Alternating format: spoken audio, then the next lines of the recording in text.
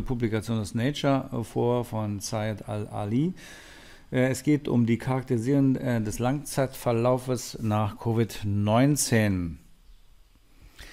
US-Veteranen, die wegen einer leichten Covid-19-Erkrankung nicht im Krankenhaus behandelt werden mussten, wurden im ersten Halbjahr nach der Erholung häufiger wegen anderer Erkrankungen behandelt. Auch das Sterberisiko könnte nach einer Studie Nature gegenüber der allgemeinen Bevölkerung erhöht sein. Residualsymptome sind nach Infektionskrankheiten keine Seltenheit. Auch nach einer Grippe benötigen viele Patienten längere Zeit, bis sie sich vollständig erholt haben, auch wenn die Influenza längst abgeklungen ist.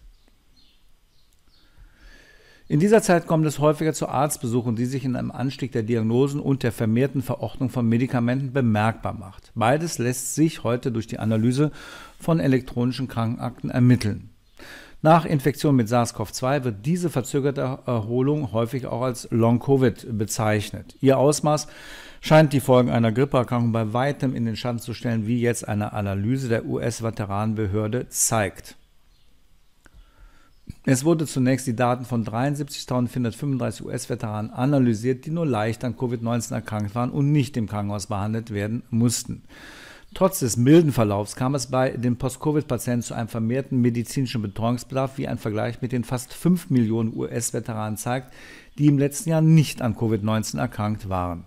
Sogar ein erhöhtes Sterberisiko mit einer Hazard Ratio von 1,59 auf einen vorzeitigen Tod war nachweisbar, die mit einem 95% Konfidenzintervall von 1,46 bis 1,73 signifikant war.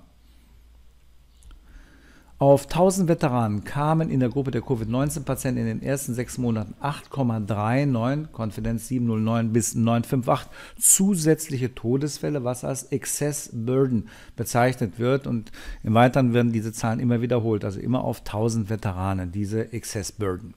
Die erhöhte Mortalität ist erstaunlich, da die Analyse auf Patienten beschränkt wurde, deren Covid-19 so mild war, dass sie nicht im Krankenhaus behandelt werden mussten. Um mögliche Ursachen zu ermitteln, wurde untersucht, wegen welcher Erkrankung die Covid-19-Patienten behandelt wurden. Es zeigte sich ein breiter Anstieg der Morbidität. Betroffen waren nicht nur die Atemwege, sondern auch das Nervensystem, die mentale Gesundheit, Stoffwechselerkrankungen, Herz-Kreislauf-Erkrankungen und der Magen-Darm-Trakt sowie das allgemeine Wohlbefinden. Die höchsten Werte für den Exzessburden wurden für Atemwegserkrankungen 28,51, also auf 1000, Hypertonie 15,18, Schlafstörungen 14,53, neurologische Erkrankungen 14,32, Schmerzen im Bewegungssystem und Rücken 13,89, Unwohlsein und Abgeschlagenheit 12,64, Störungen des Feststoffwechsels 12,32 und Brustschmerzen 10,08 gefunden. Es folgen weitere drei Symptome und Krankheitszeiten, die nach der milden Covid-19 häufiger beobachtet wurden als bei anderen Veteranen. Auch der Medikamentenverbrauch war erhöht. Der Exzessburden war am höchsten bei Bronchodilatatoren. 22,23 auf 1000 Veteranen, Nicht-Opioid-Analgetika 19,97, Antikoagulantien 16,43, Nicht-Opioid-Hustenmittel und Expektorantien 12,83, Lipidsenker 11,56, nicht-steroidale Antirheumatika 10,94, gefolgt von 33 weiteren Mitteln mit einem Exzessburden unter 10. Bei den Laborbefunden führte ein Abfall des Hämoglobins 31,03 und des Hämatokrits 30,73 auf 1000 Veteranen und ein Anstieg des HbA1c-Wertes 10,66 die Rangliste des Excess Burden an. Es folgen noch 14 weitere Laborwerte, die im ersten halben Jahr nach einem milden Covid-19 erhöht waren. Bei den Patienten, die wegen Covid-19 hospitalisiert wurden, sind die Auswirkungen noch stärker. Die Patienten wurden hier mit Veteranen verglichen, die in früheren Jahren wegen einer Grippe in der Klinik behandelt wurden.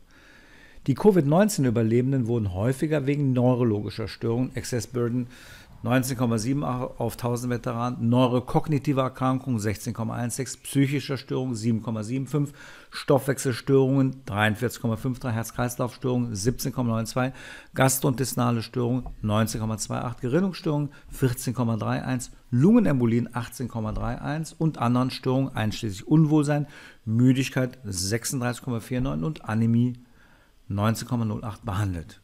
Covid-19 hinterlässt demnach deutlich stärkere Spuren in der Gesundheit als eine schwere Influenza. Big Data-Analysen können zwar leicht ein verfälschtes Bild liefern, so steigt mit der Zahl der untersuchten Parameter die Wahrscheinlichkeit auf einen Zufallsbefund. Patienten neigen möglicherweise in den ersten Monaten nach einer Erkrankung aufgrund eines gesteigerten Gesundheitsbewusstseins dazu, häufiger zum Arzt zu gehen. Der Anstieg des Sterberisikos nach einer leichten Covid-19, die keinen Krankenhausaufenthalt erforderlich macht, lässt sich damit jedoch nicht erklären. Long-Covid äh, ist mehr als ein typisches postvirales Syndrom. Das Morbiditäts- und Mortalitätsrisiko ist deutlich erhöht und es sind mehr Organsysteme beteiligt als beispielsweise nach einer Influenza. Einige der Gesundheitsprobleme, etwa Atemnot und Husten, bessern sich mit der Zeit sicherlich. Bei anderen Folgen wie Diabetes oder Herz-Kreislauf-Erkrankungen ist dies nicht unbedingt zu erwarten. Covid-19 wird auch dann noch ein medizinisches Thema sein, wenn die Pandemie vorbei ist. Weitere Informationen und Ergebnisse entnehmen Sie frei verfügbaren Publikationen im Nature.